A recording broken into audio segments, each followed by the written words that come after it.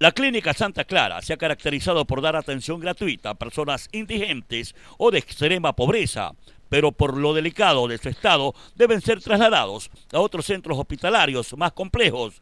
Pero su clínica no cuenta con ambulancia, por lo que acuden al cuerpo de bomberos, pero esta no escucha su llamado.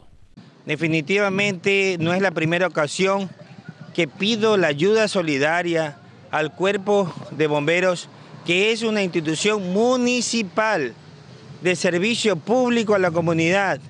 Hay que rogar al señor comandante Rómulo Vélez, en el cual yo hasta he tenido que rogarle peor que santo para poder una ambulancia.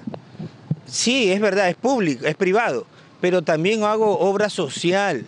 No necesariamente porque es, es privada, el señor tiene dinero. Ahí están los familiares. El señor es de escasos recursos económicos y se está haciendo una ayuda.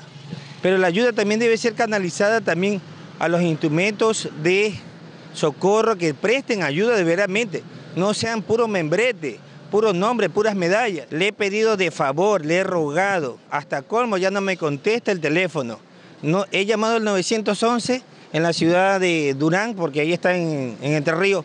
Tampoco prestan la ayuda. En los actuales momentos el 911 no cumple el objetivo cometido, no ha cumplido la necesaria eh, ayuda a las personas que deberamente se soliciten. Si el señor tuviera dinero, recursos económicos, yo que se pidiera la colaboración para que pague el transporte, pero no lo tiene.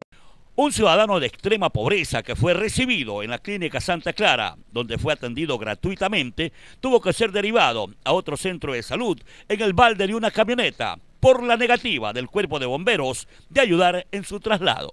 Lo trasladamos a un centro de salud o al hospital, pero no han podido ayudarnos definitivamente. He tenido que rogar, siendo una institución pública, para que venga a, socorrer a estas personas. ¿El vehículo en la, que lo trasladan es de su propiedad, doctor? Así es.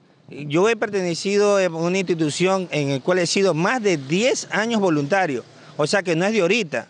Mi ayuda viene ya de, de mucho tiempo a la Cruz Roja, a nivel cantonal y a nivel provincial.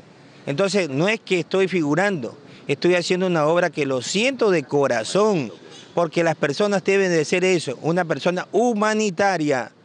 Centepeso, Telemilagro.